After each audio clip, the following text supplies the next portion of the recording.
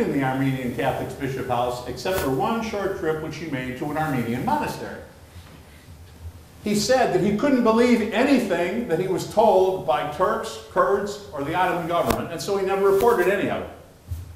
What he reported was, well, you can imagine, he reported what he heard from Armenians. And what he heard from Armenians was the story that I just told you, the canon. The Kurds had stolen Armenian sheep, the, Arme the Armenians had taken the sheep back, the Ottoman soldiers had come down, there had been the slaughter. He wrote that there was, quote, massacre pillage, rape and theft, shocking atrocities. 25 villages had been destroyed, perhaps 8,000 were killed, maybe more. How did he know this? He had not seen a single one of the villages.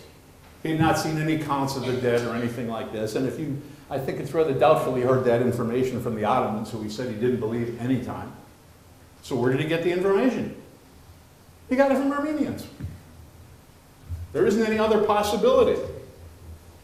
So what we've received, what we've received is the same report in Kars, in Julfa, in Mush, with the council, Hallward, the reports that came to Istanbul, the reports that appeared in America, they're all the same story because they're all from the same source.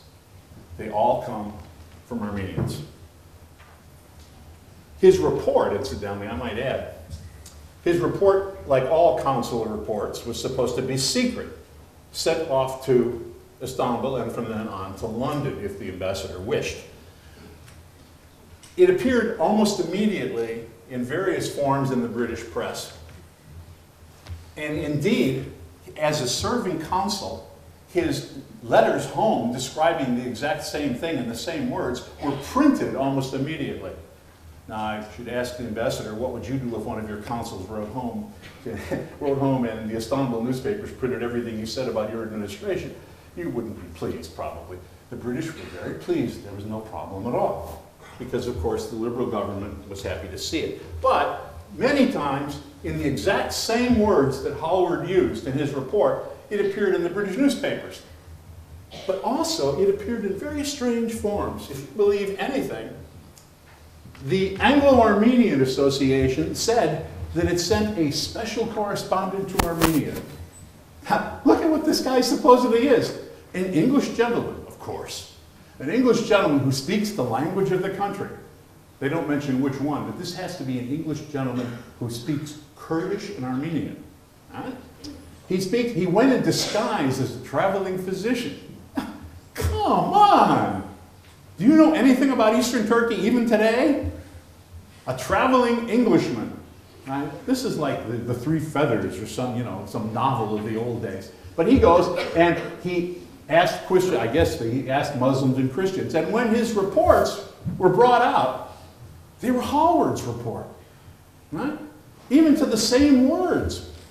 Someone had sent them to the Anglo-Armenian Association, but they didn't want to admit that it was a British consul, so they said, well, it was a traveling physician. Right? A certain lack of imagination there. But the British, under a certain pressure, ultimately did publish Hallward's report. They published it completely. And the newspapers said that this proves that all they wrote was true because Hallward said the same thing. Well, of course he did. It was the same story. He said exactly the same thing, and that might have been the end of it. That might have been the end of it, except that the Ottomans, who were very stung by all that was being said about them, the Ottomans set up an investigation commission. And this investigation commission, well, the Europeans said, we can't trust the Ottomans to do an honest job. And so they said, we must send along European observers. Uh, and they did. They sent along British, French, Russian observers. The Americans initially were going to go, then they refused. They went along, a guy named Shipley, the British, Vilbert, the Frenchman, and, and his name, I can't say it all, Prjevalsky, who went for the Russians. Uh, the world was watching, and these people knew that the report they produced would have to be fairly factual, and they actually did. The unique thing about this commission at the time was that Muslims were actually talked to.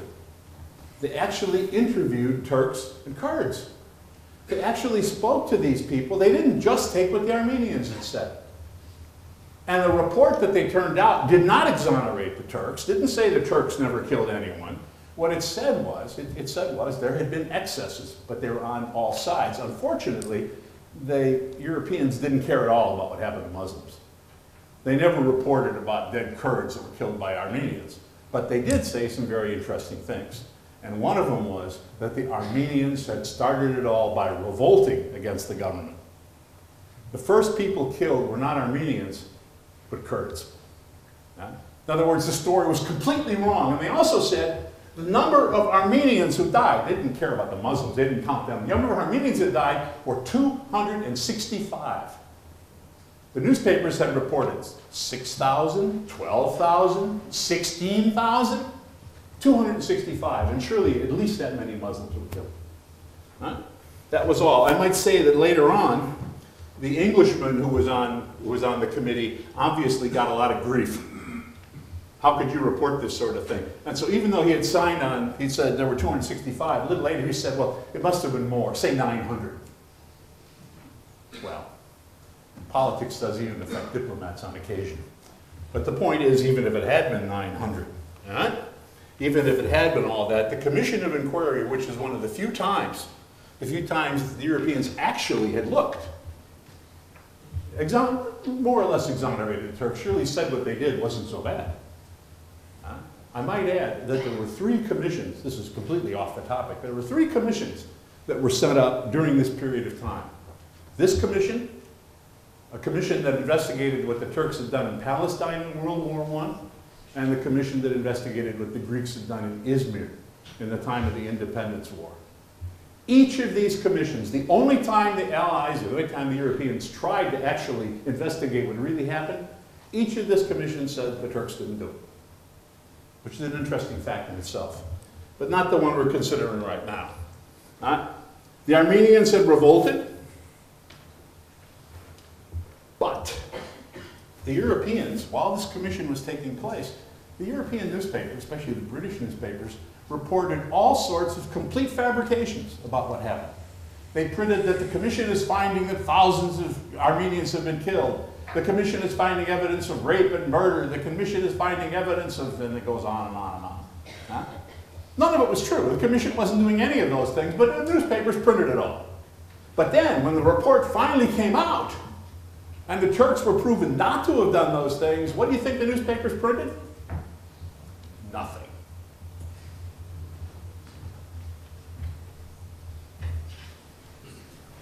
I won't go through all the details of what the Armenians had planned, of what was going on, of what actually happened, how they, you know, they burned their own villages and all this. This isn't important. What is important, I'm probably running out of time anyways, right? What, I'll be done quick. What is actually important is, these are the sources upon which the history of the Turks and the Armenians has been written. If you search through the books that tell you what supposedly is the history of this time, and you get past the fact that they all quote each other, and look for what the original sources are, what do they come out to be? Armenians, always. I can't prove it, but my feeling is, my feeling is that all these come from exactly the same source.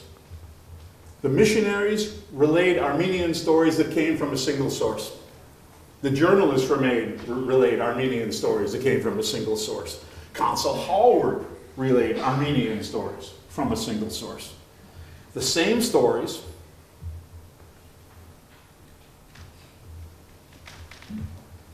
And when sources were given, these are sources from, just again, chosen at random pretty much, from British newspapers. Huh? They said, where did this information about these terrible Turkish actions, where did they come from? Well, they came from a letter from a friend. An American who was a long-time resident at Constantinople writes from Harput. Who do you think that could be, if he existed at all? What Armenians were in Harput? Missionaries. I mean, what Turks, Americans, missionaries. A person who has spent several months of this year in Armenia. An American woman in Constantinople. A reliable correspondence received, received in Boston Interesting. Missionary headquarters from American newspapers. A letter received there in Vienna from Smyrna, Izmir.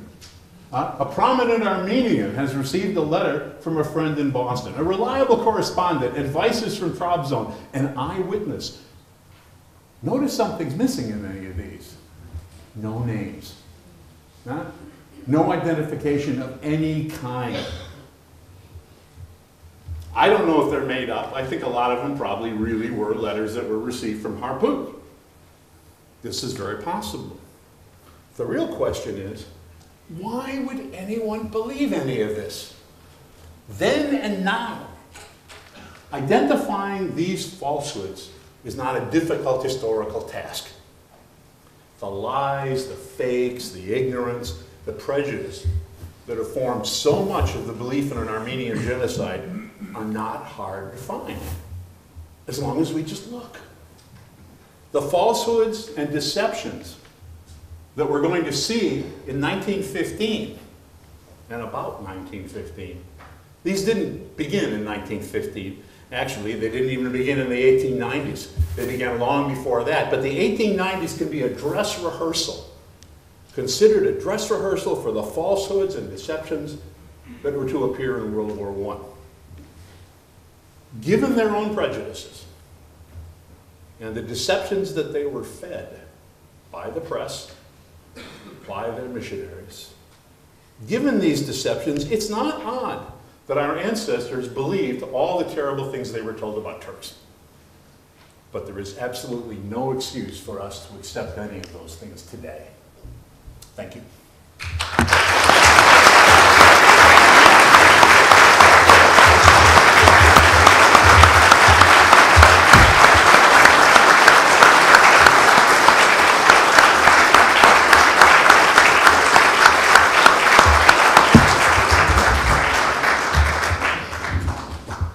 Thank you very much, Professor McCarthy, for this striking account, close to the sources. And I am sure that people in the audience would like to pursue some of these issues uh, further.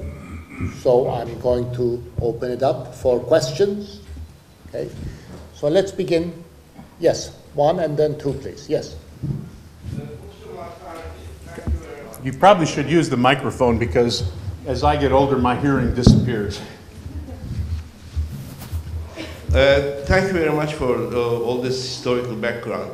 But one point which is really uh, would be very interesting for all these young people here.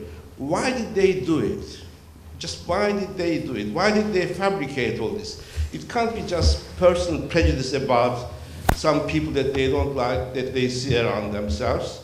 And the second question I want to ask, how come some prominent Turks have claimed very recently that we or Turks killed well Kurds as well as I don't I can't remember the number 10 million 100 million Armenians Well, I can't, the second part. I think yes somebody somebody very prominent who got a literary uh, award from a Scandinavian country You know what he's talking about? Was it a Nobel Well, I Prize or was it Oscars was, no it will be Oscars soon I, I, about the second part of your question, I can't answer for the motivation of colleagues. I don't, you know, you, I suggest But you. whether you agree When you with that see or not. Taner Akçam, you ask him yourself. okay You know, that's all I but can I say. can't, we can't catch But, it uh, unfortunately. But about the first, uh, about the first one, uh, this is a time of nationalism. It's a time when everyone believes that their group should have its own country. Uh, the Ottoman Empire was a multinational empire, and nationalism wasn't very common. It surely wasn't among the Muslims, but became so among the Christians, and thus you get Greece and Bulgaria and Serbia and all these countries carved out of the Ottoman Empire. Armenians began to be part of that tradition and part of the revolutionary tradition. Almost all the people who were revolutionaries uh, originally were from Russia, or from Russia and Armenia. They came down. Uh, what they wanted to do was they wanted to create an Armenia. And this they felt was the proper thing to do. It was not at all strange to do this in the, in, in the 19th century. It was a very common belief among all kinds of people, including the, the Irish, for instance. Uh, It was a very common sort of thing. The immediate way in which they were to do this, however, was very difficult for the Armenians. And that was because they were, in the area they claimed as Armenia, they were less than 25% of the population. Now, it's one thing to create a Bulgaria when your majority are Bulgarians, or Serbia when the vast majority are Serbs, or Greece. But to do a place where three